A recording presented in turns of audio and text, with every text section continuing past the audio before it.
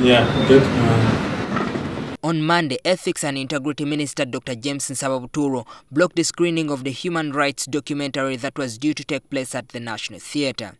The aborted event was jointly organized by the UN Office of High Commissioner for Human Rights, Human Rights Center for Uganda, and the Human Rights Commission.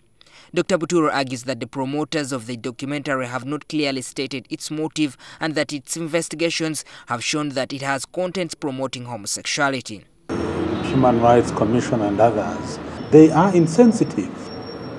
They have chosen or decided to disregard what Ugandans feel about these things. They have a degree of arrogance that we find offensive and we must not accept. Dr. Buturo says that when his officials sought to preview the documentary, the promoters denied them the opportunity. When they were invited to first show us that film or documentary so that we could see, they, they declined. They dodged. Honorable Buturo, in his uh, office capacity, he could pick his phone and call anybody in the commission. But what is even absurd, he has not even looked at the tape itself.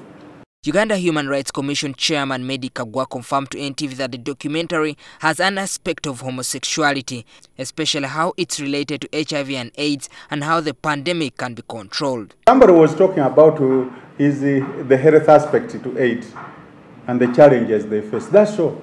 It's about a one minute statement. However, the Human Rights Commission insists that the documentary aims at highlighting the challenges human rights defenders face in checking discrimination in Uganda. Maurice Choul, NTV Tonight.